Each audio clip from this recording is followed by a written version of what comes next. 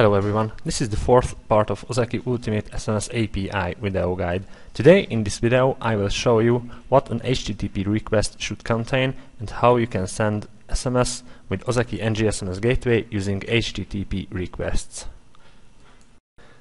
As you can see, I have already downloaded the software which is needed to send SMS. You can find the download links in the description.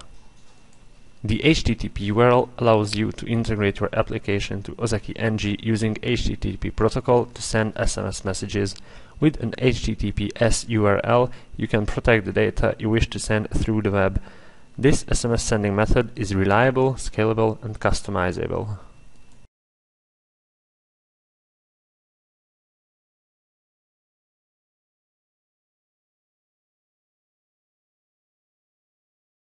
Here's an example URL.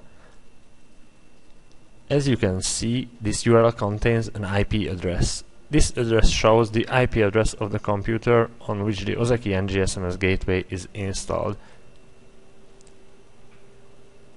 The send message action represents that with the URL the user will send out an SMS message.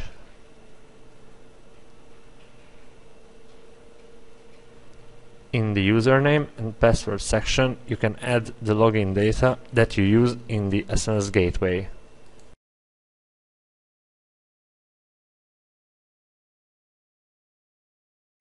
Here comes the building of the SMS. Here you can add the phone number of the recipient.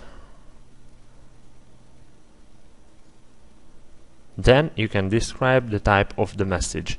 In the case of SMS messages, it should be text. Finally, you can add the text of the message. These are the mandatory data that an SMS sending URL should contain.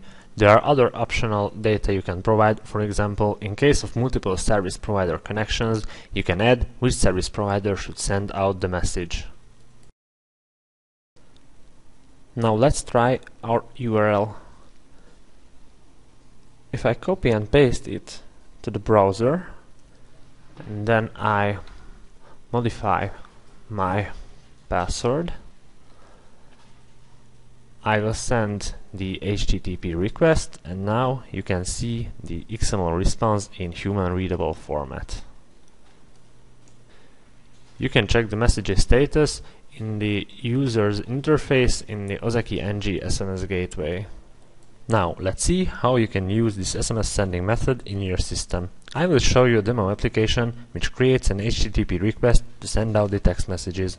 In Visual Basic, I open a pre-made application.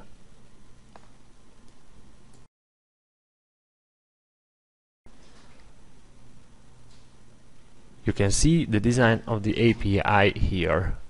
Now let's see the URL. In the first dim section, you can declare the variables of the URL. The requests and response will be an HTTP request and response.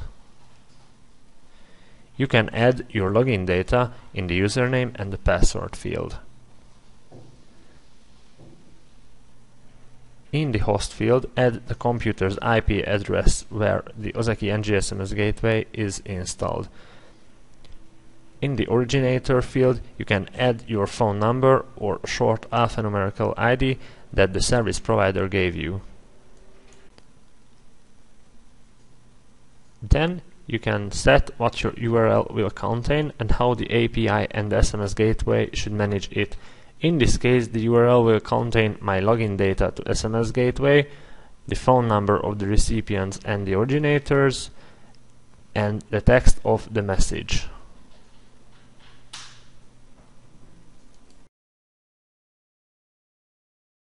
The next rows show that the request and response will be a direct cast and the response will come back in a pop-up window. Now let's start the program. Add the recipient's phone number and the text of the message.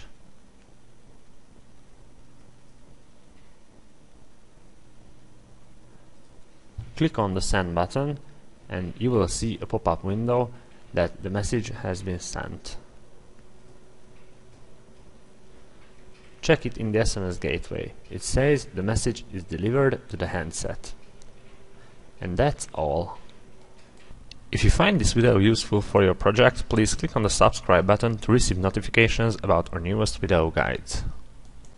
The Ozeki NG SMS Gateway is a powerful flexible software which is almost compatible with all programming language you wish to use.